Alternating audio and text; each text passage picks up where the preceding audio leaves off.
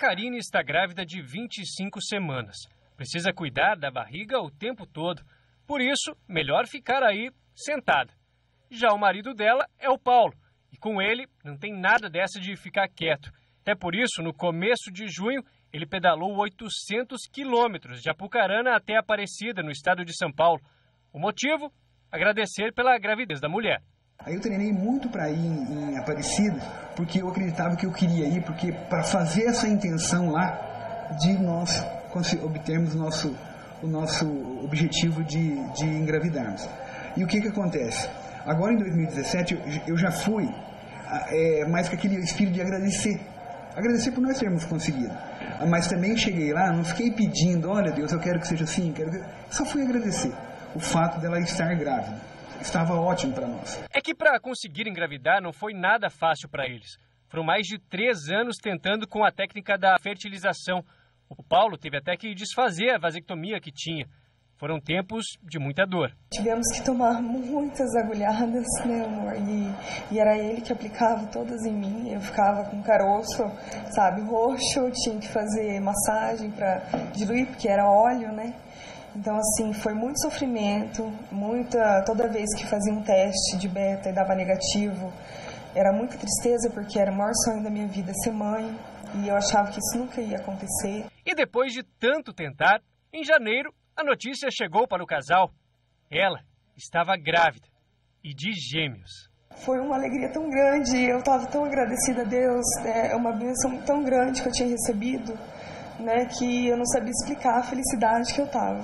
Né? E quando descobrimos então que era gêmeos, nossa, minha felicidade foi maior ainda, porque Deus já tinha me dado uma família completa, né? que eu achava que um era pouquinho, então eu queria dois. Só que eu não sei se eu ia conseguir passar por todo o sofrimento de novo. Eles acreditam que ter conseguido gerar as duas crianças, que até já tem nome, Carolina e Paulo Sérgio Viana Júnior, ou como o pai chama, PSVJ, foi um verdadeiro milagre. E agora dá até para entender por que, que o Paulo percorreu esses 800 quilômetros de bicicleta ao lado de um grupo de quase 50 outros ciclistas. A viagem de ida foi de mais de quatro dias e ele nunca tinha percorrido uma distância tão grande só pedalando. Sempre tive vontade de ir lá, porque por causa, por causa da minha avó, que rezava um terço meio cedo, outro meio-dia, outro de tarde, e fazíamos nós rezarmos também. De vez em quando nós queríamos dar uma escapadinha, mas não tinha jeito, tinha, tínhamos que rezar. Aí eu cheguei lá e falei, olha, como que pode é, Deus fazer uma coisa tão abençoada assim? A primeira vez que eu vim para Aparecida do Norte foi de bicicleta.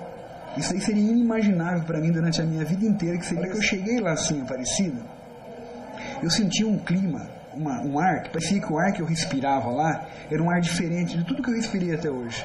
Mas a gravidez da Karine ainda é muito frágil.